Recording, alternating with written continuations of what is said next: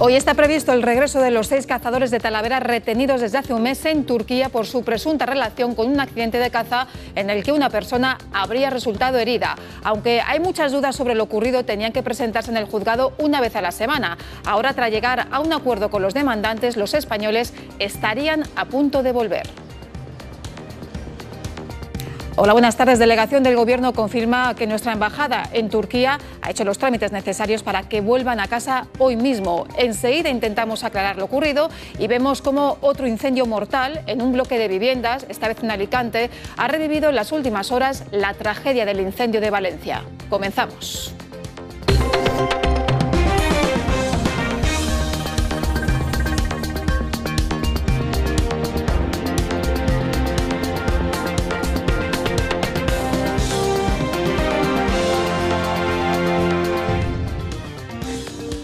Un niño de 5 años, su padre y su abuela son las tres víctimas mortales del incendio que comenzaba en la planta 11 de este bloque de Villajoyosa, en Alicante. Otros 15 vecinos de los 120 que viven en ese edificio han resultado afectados por inhalación de humo. Ahora se investigan las causas de este incendio que hizo temer lo peor a los vecinos y autoridades por la cercanía del incendio de Valencia.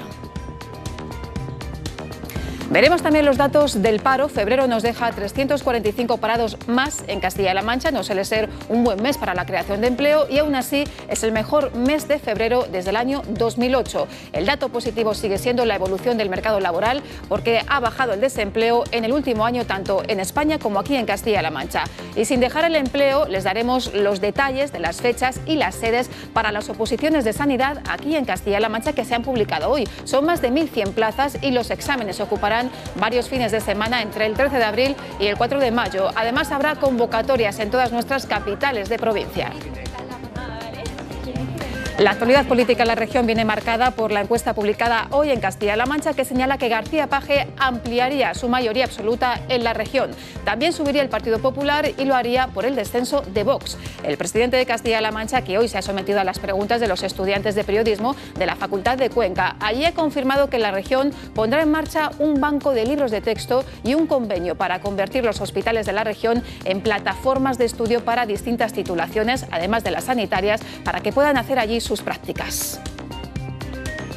La otra noticia política que nos afecta tiene que ver con el caso Coldo y sus repercusiones en Castilla-La Mancha tras conocerse este fin de semana que el SESCAM rechazó la oferta de la trama al comprobar que esas mascarillas que ofrecían eran defectuosas. Las empresas investigadas intentaron vender mascarillas a la sanidad regional a través del aeropuerto de Ciudad Real. Veremos las reacciones de los partidos regionales, mientras que a nivel nacional el Partido Popular insiste ahora en poner el foco en la presidenta del Gobierno del Congreso de los Diputados, pide la dimisión de Armengol por autorizar la compra de mascarillas en mal estado y tardar más de tres años en reclamar el dinero.